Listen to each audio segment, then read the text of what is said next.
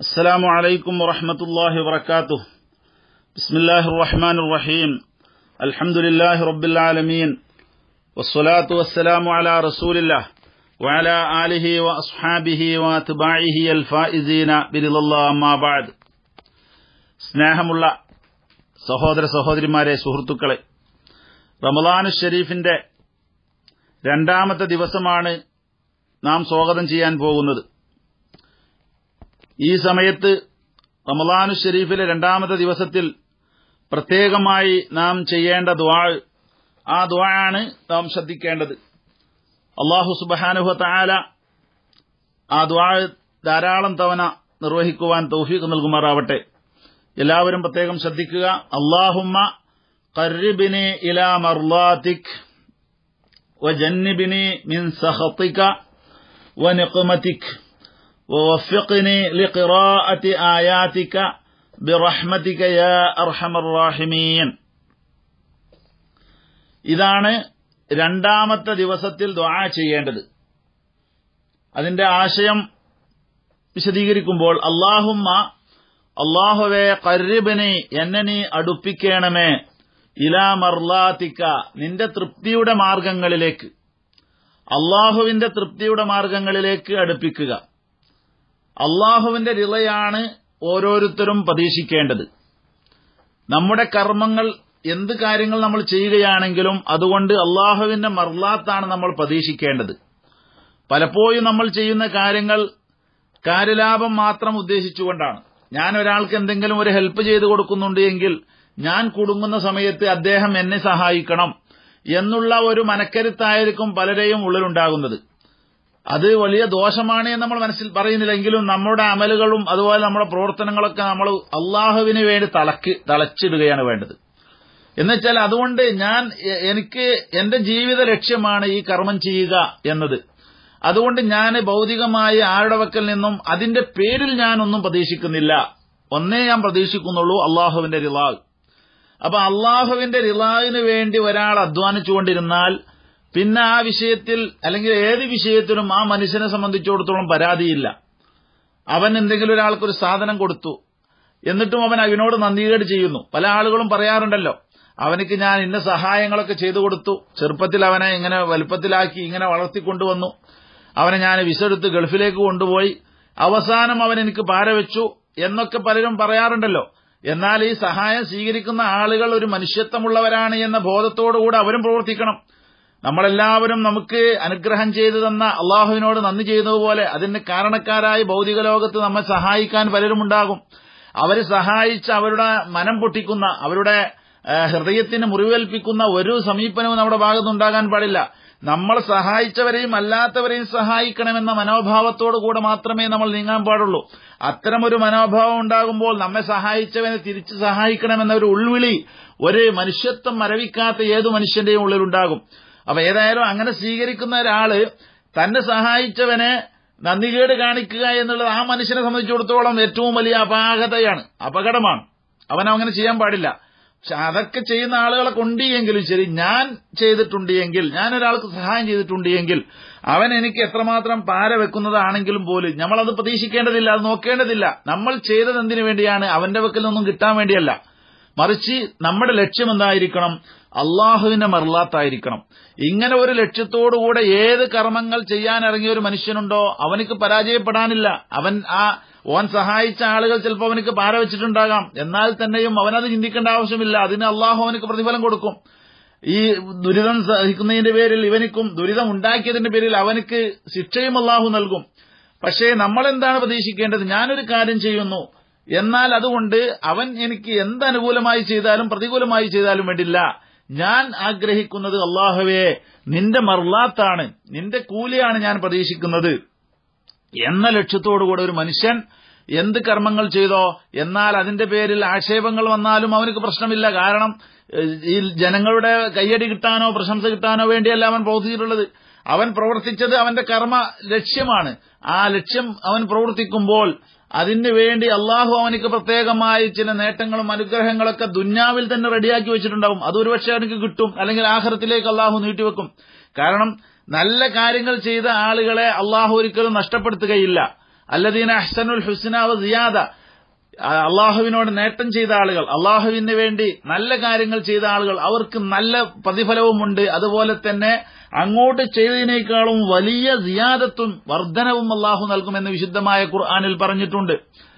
അതുപോലെ തന്നെ വലനജിയന്നവും അഹ്സനല്ലതി അമിലു ബിമാ നജിയന്നഹും അജറഹും അഹ്സനിമാക്കാനോ കാനു യഅമലൂൻ അള്ളാഹുവിന്റെ നേട്ടങ്ങളെല്ലാം ആസ്വദിച്ചുകൊണ്ട് ദുന്യാവിലെ വിഭവങ്ങളും ഇവിടത്തെ എല്ലാവിധ ആനുകൂല്യങ്ങളും പറ്റിയ ആളുകളും മോശക്കാരല്ല. അവർക്കും അള്ളാഹു സുബാനഹുത്ത ആല അനുസരിച്ച് ജീവിച്ചാൽ അവർക്ക് ലനൊഹിയന്നഹും ഹയാത്തം തൊയ്യബ. നല്ല ഒരു ജീവിതം ദുന്യാവിൽ തന്നെ അവർക്ക് അള്ളാഹു കൊടുക്കുമെന്ന് ഖുർആാനിൽ അള്ളാഹു പറഞ്ഞിട്ടുണ്ട്. അപ്പൊ അതുകൊണ്ട് നമ്മൾ നമ്മൾ ചെയ്യുന്ന കർമ്മം കൊണ്ട് ആരെങ്കിലും എന്തെങ്കിലും ചെയ്യുമെന്ന് പ്രതീക്ഷിക്കാതെ അള്ളാഹു ഇതിനൊക്കെ കാണുന്നുണ്ടല്ലോ അള്ളാഹുവിന് വേണ്ടിയാണല്ലോ ഞാൻ നിലകൊണ്ടുന്നത് അള്ളാഹുവിന്റെ മറുനാത്ത് കിട്ടാൻ വേണ്ടിയാണല്ലോ ഞാൻ സേവനം ചെയ്തത്.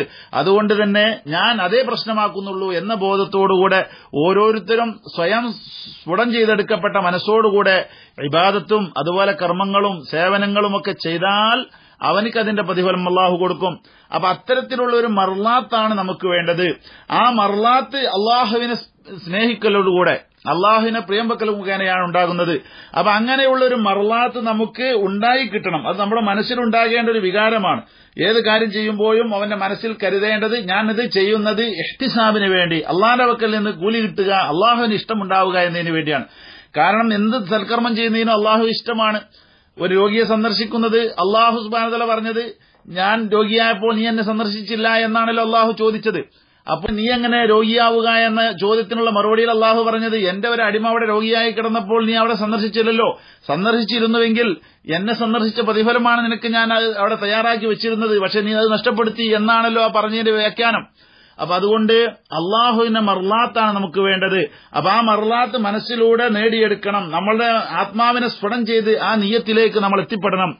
ആ ഒരു മർലാത്തിലേക്ക് അള്ളാഹുവെ എന്നെ നീ അടുപ്പിക്കണമേ എന്നാണ് ഈ പ്രാർത്ഥനയുടെ തലവാചകത്തിൽ ആമുഖത്തിൽ പറയുന്നത്. അതുപോലെ അള്ളാഹുവിനെ മർലാത്തിലേക്ക് അടുപ്പിക്കാൻ വേണ്ടി പറയുമ്പോൾ തന്നെ അതിന്റെ നേരെ നെഗറ്റീവ് സൈഡാകുന്ന ഓപ്പോസിറ്റ് സൈഡാകുന്ന അള്ളാഹുവിന് ഇഷ്ടമില്ലാത്ത അള്ളാഹുവിനെ ദേഷ്യം പിടിപ്പിക്കുന്ന അള്ളാഹുവിന്റെ മഹാരിമുകൾക്കെല്ലാം എതിരായി നീങ്ങുന്ന ഒരു സമീപനം നമ്മുടെ ഭാഗത്തു നിന്നുണ്ടായാൽ അതാഹു അള്ളാഹു അത് ഇഷ്ടപ്പെടുകയില്ല. അതുകൊണ്ട് തന്നെ ഓ ജന്നിബിനി അള്ളാഹുവെ എന്നെ നീ അകറ്റി നിർത്തേണമേ. മിൻ സഹത്തിക്ക നിന്റെ ദേഷ്യത്തിൽ നിന്നും എന്നെ നീ അകറ്റി നിർത്തേണമേ. നിനക്ക് ദേഷ്യം തോന്നുന്ന എല്ലാവിധ കാര്യങ്ങളിൽ നിന്നും എന്നെ നീ അകറ്റി നിർത്തേണമേ. അപ്പൊ നേരെ പറഞ്ഞ കാര്യത്തിന്റെ എല്ലാ ഓപ്പോസിറ്റ് വിഷയങ്ങളും അതിന്റെ പ്രശ്നങ്ങളൊക്കെ ഇതിൽ വന്നു. അള്ളാഹു ഹറാമാക്കിയ ഭാഗത്തേക്ക് പോകാൻ പാടില്ല. അള്ളാഹുവിന്റെ ദേഷ്യം പതിഞ്ഞ എന്തൊക്കെ കാര്യങ്ങളുണ്ടോ അള്ളാഹുവിന്റെ നിയമത്തിന്റെ വശങ്ങളൊക്കെ അതിലംഘിക്കുന്ന ആളുകൾ അവർക്കെല്ലാം അള്ളാഹുവിന്റെ ദേഷ്യമുണ്ടാകും. സുഹ്തുർ റബ്ബി അള്ളാഹുവിന്റെ ദേഷ്യം എന്ന് പറയുന്നത് ഭൗതിക ലോകത്തുള്ള ഒരാളുടെ ദേഷ്യം പോലെയല്ല. ആരെങ്കിലും നമ്മോട് ദേഷ്യം പിടിച്ചാൽ അവനെ പോയി ഒന്ന് സോപ്പിട്ടാൽ അല്ലെങ്കിൽ അവനെ ആശ്വസിപ്പിക്കുന്ന രീതിയിലുള്ള ഒരു കാര്യം പറഞ്ഞാൽ അല്ലെങ്കിൽ ഇന്ന് ദേഷ്യം പിടിച്ചവൻ നാളെ അവൻ തന്നെ ഇങ്ങോട്ട് വന്നുകൊണ്ട് ക്ഷമാപണം നടത്തുന്ന ശൈലിയാണ് ഉണ്ടാവുക.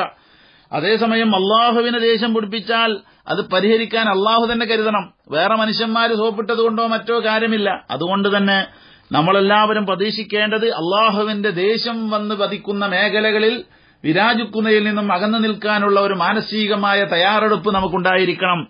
ആ തയ്യാറെടുപ്പിന് വേണ്ടിയുള്ള എല്ലാവിധ മേഖലകളിലേക്കും നീ എന്നെ അടുപ്പിക്കുകയും നന്മയുടെ നിന്റെ മറലാത്തിന്റെ ഭാഗങ്ങൾ കുടികൊള്ളുന്ന മേഖലകളിലേക്കൊക്കെ എന്നെ അടുപ്പിക്കുകയും നിന്റെ മറലാത്തിനെതിരെയുള്ള നിന്റെ ദേശത്തിന്റെയും നിന്റെ പകയുടെയും നിനക്ക് വിഘാതമാകുന്ന കാര്യങ്ങളുമൊക്കെ ചെയ്യുന്ന മേഖലകളിൽ നിന്നെല്ലാം അകന്നു നിൽക്കുവാനുള്ള ഒരു എനർജി ഒരു സപ്പോർട്ട് ഒരു ശക്തി എനിക്ക് നീ നൽകുകയും ചെയ്യണമേ. ജന്നിബിനി എന്നെ നീ അകർത്തി നിർത്തേണമേ. മീൻ സഹത്തിക്ക നിന്റെ ദേശത്തിന്റെ മേഖലയിൽ നിന്ന്.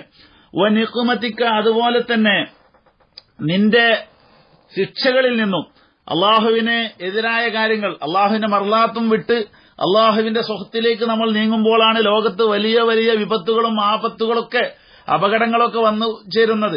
ഭൂമി കുലുക്കം പോലെയുള്ള അതുപോലെ തന്നെ ഭൂമി ആണ്ടുപോകുന്നത് പോലെയുള്ള പല വിപത്തുകളും അള്ളാഹുവിനെ ദേഷ്യം പിടിപ്പിക്കുന്ന പ്രവൃത്തികൾ ഒരു സമൂഹം ഒന്നാകെ ചെയ്യുന്ന സമയത്താണ് നമുക്ക് കാണാൻ കഴിയുന്നത്. നമ്മൾ മുമ്പൊക്കെ സോഷ്യൽ മീഡിയയിലൊക്കെ കണ്ടതാണല്ലോ ഈ നർത്തകിമാര് അവരെ ഡാൻസ് ചെയ്തുകൊണ്ടിരിക്കുന്ന സമയത്ത് അവരുടെ ആ ക്യാമറ അവതരിപ്പിച്ചുകൊണ്ടിരിക്കുന്ന സമയത്ത് ആ സ്റ്റേജ് അടക്കം ഭൂമിയിലേക്ക് ആണ്ടുപോകുന്ന ചിത്രം അതിന്റെ ഒരു ഫോട്ടോ അതിന്റെ ഒരു വീഡിയോ രംഗം നമ്മളെല്ലാവരും ഫേസ്ബുക്കിലൂടെയും മറ്റും കണ്ടതാണ്. ഇതൊക്കെ അള്ളാഹു സുബാനുഭവത്താല ഇഷ്ടപ്പെടാത്ത കാര്യങ്ങളിലേക്ക് ഒരു സമൂഹം ഒന്നാകെ അങ്ങോട്ട് കൂപ്പുകുത്തി പോകുമ്പോൾ അവരെ തടുക്കാനും അവർക്ക് നന്മ ഉപദേശിക്കാനും പറ്റുന്ന ആളുകൾ ആരും അവരെ മേഖലയിൽ ഇല്ലാതിരിക്കുകയും ചെയ്യുന്ന സമയത്ത് അള്ളാഹു സുബഹാനുഹത്താല പ്രത്യേകമായി അവർക്ക് നൽകുന്ന അതാബിന്റെ ഒരു വശമാണ് അത്. അള്ളാഹുവിന്റെ നിക്കുബത്ത് അള്ളാഹുവിന്റെ ശിക്ഷ അള്ളാഹുവിനെതിരായി പ്രവർത്തിക്കുമ്പോൾ ദേഷ്യം പിടിക്കുന്ന കാര്യങ്ങൾ ആർക്കും ദേഷ്യം പിടിക്കുമ്പോഴാണല്ലോ അടിയും ഇടിയും അക്രമങ്ങളൊക്കെ വരിക. അതുപോലെ അള്ളാഹുവിനെ ദേഷ്യം പിടിപ്പിക്കുന്ന കാര്യങ്ങൾ ഉണ്ടാകാൻ പാടില്ല. അങ്ങനെ അള്ളാഹുവിനെ വല്ലാതെ ദേഷ്യം പിടിപ്പിക്കുമ്പോൾ അള്ളാഹുവിന്റെ എല്ലാ നിയമത്തുകളും ആസ്വദിച്ചുകൊണ്ട് അതിനെതിരെ നമ്മളുടെ നീക്കങ്ങൾ ഉണ്ടാകുമ്പോൾ അള്ളാഹു ശിക്ഷ ഇറക്കും. അള്ളാഹു ശിക്ഷ ഇറക്കി കഴിഞ്ഞാൽ അത് പട്ടണം പൊടിയാക്കുന്ന ശിക്ഷയായിരിക്കും. അത് തടുക്കാൻ ആർക്കും ഭൗതികമായി കഴിയില്ല. നമ്മുടെ ഭൂകമ്പങ്ങൾ സുനാമി അതുപോലെ ഭൂമി കുലുക്കങ്ങൾ ഇതൊക്കെ പ്രതിരോധിക്കാൻ ഭൗതിക ലോകത്ത് എന്തെങ്കിലും സംവിധാനമുണ്ടോ? ഒന്നുമില്ല. അതിന്റെ ശേഷം ഇത്ര ശതമാനം ഇത്ര ഭൂകമ്പ മാപ്പിനിയിൽ അഞ്ച് ആറ് ഏഴ് എട്ട് ഒമ്പത് പത്ത് ശതമാനമായി. ഇനി അത് ഇല്ലാതാക്കാൻ വല്ല മാർഗമുണ്ടോ? അതിനെക്കുറിച്ച് മനുഷ്യന് ചിന്തിക്കാനും കഴിയാത്ത അവസ്ഥയാണ്. അപ്പൊ അതുകൊണ്ട് അള്ളാഹുവിന്റെ നിക്കുമത്തെങ്ങാനം ഇറങ്ങിപ്പുറപ്പെട്ടാൽ അത് പ്രതിരോധിക്കാൻ കഴിയില്ല. അപ്പോൾ അള്ളാഹുവിന്റെ നിക്കുമത്തിനെ തൊട്ടും എന്നെ നീ അകറ്റി നിർത്തേണമേ. ആ നിക്കുമത്ത് അള്ളാഹു അവതരിപ്പിക്കൽ അള്ളാഹുവിനെ ദേഷ്യം പിടിപ്പിക്കുന്ന കാര്യങ്ങൾ ചെയ്യുമ്പോഴാണ്.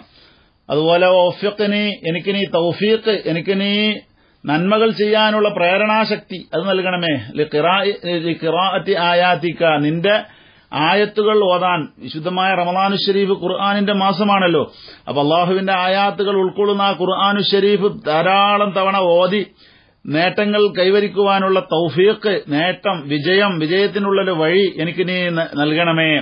ബിറഹ്മത്തിക്ക നിന്റെ റഹ്മത്ത് കൊണ്ടാണ് അള്ളാഹുവെ ഞാൻ ഇത് ചോദിക്കുന്നത്.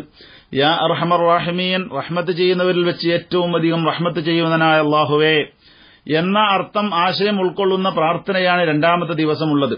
അപ്പൊ ഇതിന്റെ മൊത്തം ഷോട്ട് പറയുകയാണെങ്കിൽ അള്ളാഹുവിലെ അള്ളാഹുവിന്റെ റിലായന് തേടുക എന്നുള്ളത് മുമ്മിന്റെ ഒരു പ്രത്യേകമായ അടയാളവും ലക്ഷണവുമാണ്. നമ്മൾ ഹദ്ദാദ് ചെല്ലുമ്പോൾ ചെല്ലുന്ന ഹദ്ദാദിൽ കാണാമല്ലോ. അള്ളാഹുമ്മ ഇന്നി അസ്അൽ റിദാക വൽ ജന്ന വ അഊദു ബിക മിൻ വന്നാർ ഇത് ഖുർആൻ ഷരീഫിലെ ആശയങ്ങളും അതുപോലെ ഹദീസിലൊക്കെ ആശയങ്ങൾ ഉൾക്കൊള്ളുന്ന അതിലുള്ള പദങ്ങളെല്ലാം എടുത്തുണ്ടാക്കിയ ദിക്റുകളാണ്. അതുകൊണ്ട് വളരെയധികം മൂല്യമുള്ള ഫലവത്തായ പലപ്പോഴും പ്രാർത്ഥന സ്വീകരിക്കപ്പെടാൻ യോഗ്യമായ ദിക്റുകൾ ഉൾക്കൊള്ളുന്നതായ പ്രാർത്ഥനയാണ്. അതുകൊണ്ട് അള്ളാഹു സുബഹാനഹുത്ത ആല ഈ പ്രാർത്ഥന നിർവഹിച്ച് ഇതിന്റെ അർത്ഥതലങ്ങളിലൂടെ ജീവിതം കരുപ്പിടിപ്പിക്കുവാനും ജീവിതം മുന്നോട്ട് നയിക്കുവാനും ഈ റമദാനു ഷെരീഫിന്റെ ദിവസങ്ങളിലൂടെ സഞ്ചരിക്കുന്ന നമുക്ക് തൗഫീക്ക് നൽകുമാറാവട്ടെ. ധാരാളം അള്ളാഹുവിന്റെ മർലാത്ത് ലഭ്യമാകുന്ന അള്ളാഹുവിന്റെ റിലായ് ചോദിക്കുന്ന അള്ളാഹുവിന്റെ സഹത്തിനെ തൊട്ടും അതാബുകളെ തൊട്ടും ശിക്ഷകളെ തൊട്ടുമൊക്കെ അകന്നു നിൽക്കാൻ പര്യാപ്തമാകുന്ന കർമ്മങ്ങളും ധർമ്മങ്ങളുമെല്ലാം പുലർത്തിക്കൊണ്ട് ജീവിതം ധന്യമാക്കുന്ന സജ്ജനങ്ങളിൽ അള്ളാഹു സുബാനുഹത്താല ഈ റമലാനിന്റെ രണ്ടാമത്തെ ദിവസത്തിലും നമ്മെ നിലനിർത്തി തെരുമാറാവട്ടെ. ആമീൻ എന്ന് ദുആ ചെയ്യുന്നു. എല്ലാവരും ദുആ ചെയ്യണമെന്ന് വസിയത്ത് ചെയ്യുന്നു. ആഖിറു ദഅവാന അൽഹംദുലില്ലാഹി റബ്ബിൽ ആലമീൻ. അസ്സലാമു അലൈക്കും വറഹ്മത്തുള്ളാഹി വബറകാതുഹു.